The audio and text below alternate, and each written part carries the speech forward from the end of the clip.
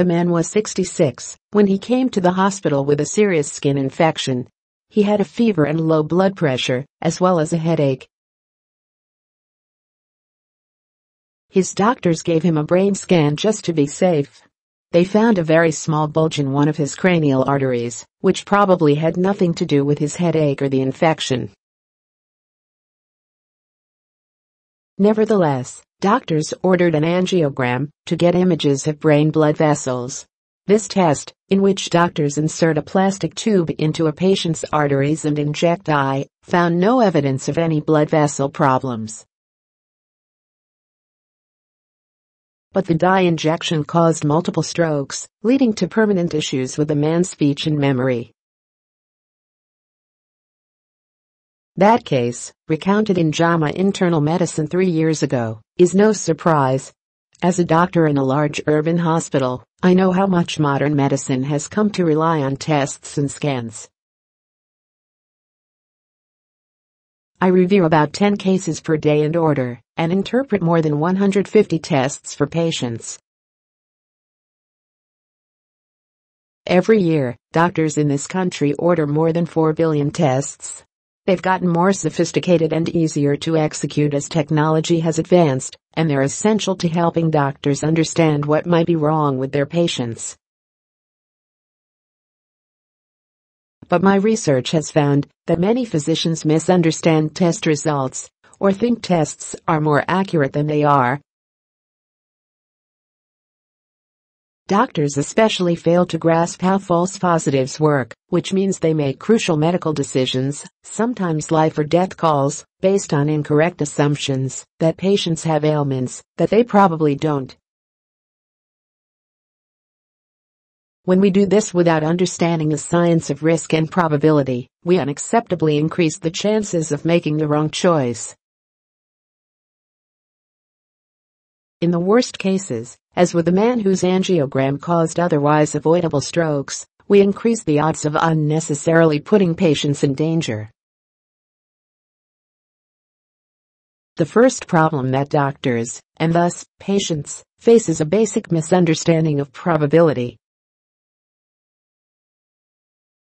Say that disease X has a prevalence of 1 in 1,000, meaning that 1 out of every 1,000 people will have it, and the test to detect it has a false positive rate of 5%, meaning 5 of every 100 subjects test positive for the ailment, even though they don't really have it. If a patient's test result comes back positive, what are the chances that she actually has the disease? In a 2014 study, researchers found that almost half of doctors surveyed said patients who tested positive had a 95% chance of having disease X. This is radically, catastrophically wrong. In fact, it's not even close to right. Imagine 1,000 people, all with the same chance of having disease X. We already know that just one of them has the disease.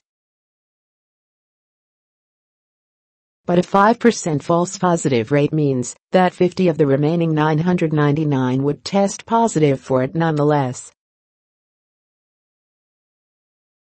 That means 51 people would have positive results, but only one of those would really have the illness. So if your test comes back positive, your true chance of having the disease is actually 1 out of 51, or 2% a heck of a lot lower than 95%. A 5% false positive rate is typical of many common tests. The primary blood test to check for a heart attack, known as high sensitivity troponin, has a 5% false positive rate, for instance. U.S. emergency rooms often administer the test to people with a very low probability of a heart attack. As a result, 84% of positive results are false, according to a study published last year. These false positive troponin tests often led to stress tests, observation visits with expensive copays and sometimes invasive cardiac angiograms. In one study, Gynecologists estimated that a woman whose mammogram was positive had a higher than 80% chance of having breast cancer. The reality is that her chance is less than 10%. Of course, women who have a positive mammogram often undergo other tests, such as an MRI and a biopsy, which can offer more precision about the presence of cancer. But researchers have found that even after the battery of exams, about 5 of every 1,000 women will have a false positive result and will be told they have breast cancer when they do not. The confusion has serious consequences. These women are likely to receive unnecessary treatment, generally some combination of surgery, radiation or chemotherapy, all of which have serious side effects and are stressful and expensive. Switzerland and France, grasping this problem, are halting and reconsidering their mammogram programs. In Switzerland, they're not screening ahead of time, preferring to manage cases of breast cancer as they're diagnosed. In France, doctors are letting women decide for themselves whether to have the tests. Studies have found that doctors make similar errors with other tests, including those for prostate and lung cancer, heart attack, asthma and Lyme disease. Of course, no test is perfect, and even very careful, statistically sophisticated doctors can sometimes make mistakes. That's not the problem. Too many of my colleagues do not understand that many of the tests they rely on are deeply fallible. In a study I published last year with several colleagues, we reviewed the treatment of 177 patients who were admitted to hospitals with a wide range of problems, from broken bones to severe intestinal pain, to see how necessary their tests were, as judged by the latest medical guidelines. We found that nearly 90% of the patients received at least one unnecessary test and that, overall, nearly one-third of all the tests were superfluous. When patients receive tests that aren't needed, there is a reasonable chance that doctors are using the results to make choices about treatment. By definition, these choices have a higher danger of being flawed.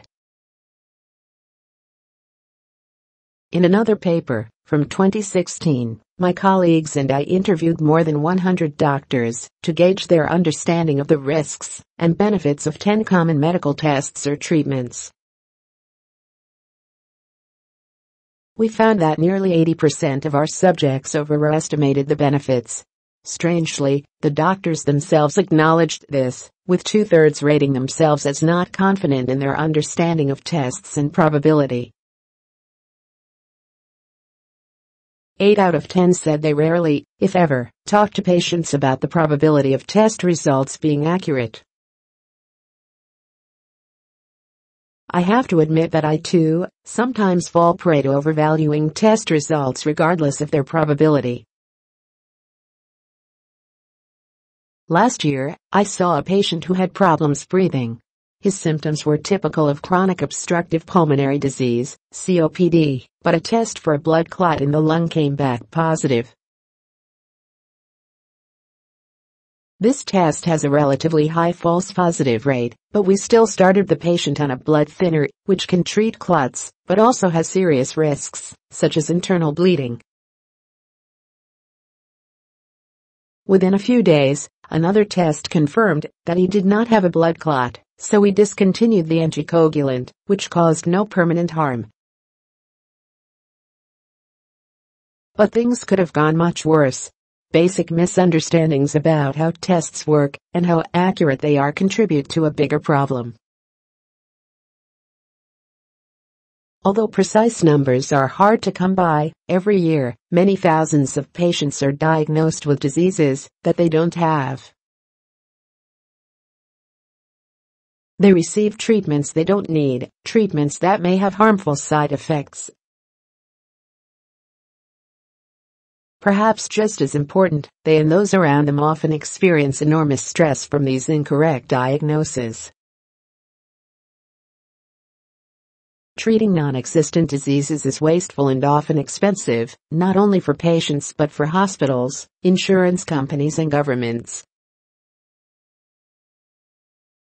Doctors also tend to the overuse some tests. In a paper last year, my colleagues and I highlighted some key examples. One was computed tomography, CT, a high-tech scanning technology that is increasingly used in patients with nonspecific respiratory symptoms. In cases with only mild respiratory problems, the test does not improve patient outcomes, and it can lead to false positives. Often, the test shows small lung nodules that can lead doctors to follow up with a high-risk surgical biopsy for cancer, which is very unlikely to be the cause of the symptoms. The scan also exposes patients to radiation, which is a risk in itself, Studies have found that between 1 5 and 2% of all cancers in the United States are caused by radiation from CT scans. To be fair, it is not surprising that doctors tend to overestimate the precision and accuracy of medical tests. The companies that provide tests work hard to promote their products Doctors often think that ordering more tests will protect against lawsuits. Moreover, medical schools offer limited instruction on how to understand test results, which means many doctors are not equipped to do this well. Even when medical students have short classroom instruction in test interpretation, it is rarely taught in a clinic with actual patients. There is no simple solution. One key step is for doctors to acknowledge the gaps in our understanding and to improve our knowledge of what each test can accurately tell us. Medical schools and professional associations can also do a much better job of educating doctors to understand how risk and probability work. Patients must also play an important role they should realize that doctors, even quite capable ones, may not fully understand the statistical underpinning of the tests they use. In essence, your doctor may have a blind spot, an unconscious tendency to have too much trust in a test. Being aware of this problem and asking your doctor about disease probability can reduce hassles and anxiety, and sometimes even save lives.